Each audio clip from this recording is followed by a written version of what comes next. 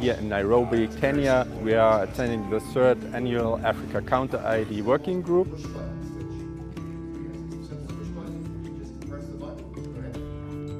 As part of the presentations, we saw three different types of suicide-borne vests.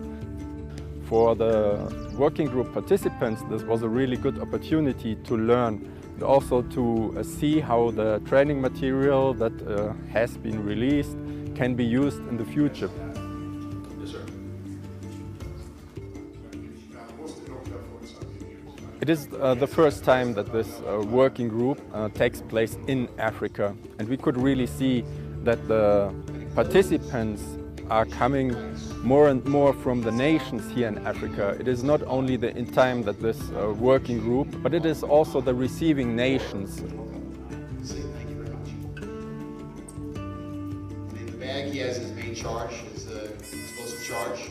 And these uh, practical demonstrations can really help um, to understand what is needed to work together.